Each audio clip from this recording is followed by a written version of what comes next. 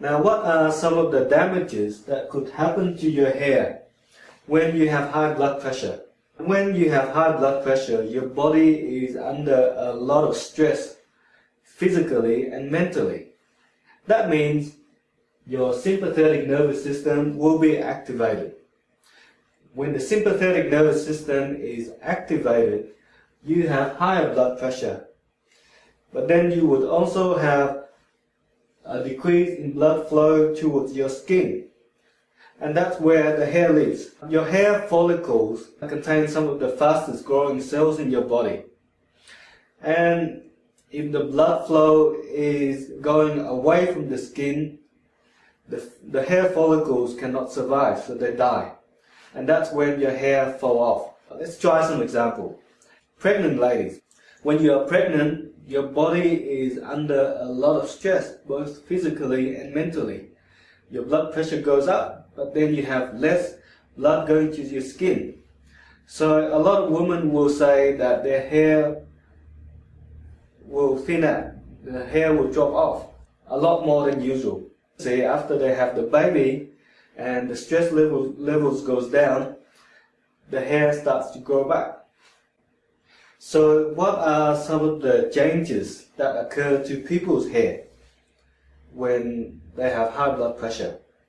If someone is bald and they have high blood pressure, it's not going to get better. The skin will get drier and drier and get and less blood supply and the hair will start to fall out gradually and it will get worse and worse as time goes by. If you're a woman, you are more a bit more fortunate, but because there is less blood supply going to the skin, the hair follicles cannot survive. So you will start to have more and more hair falling off. Even your eyebrows, sometimes they can thin out as well. As the disease progresses, your hair will gradually get thinner. Another area where you would have a lot of hair loss would be down your legs. The circulation going down towards the leg will be a lot restricted when you have high blood pressure.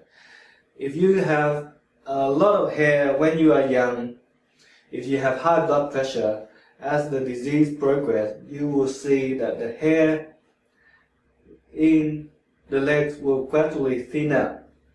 Normally, when I see a patient, I can tell how healthy their skin is by looking at how much hair they have on their leg.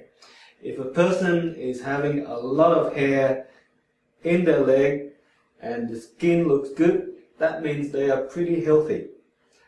Uh, so that are some of the damages that could happen to your hair when you have high blood pressure.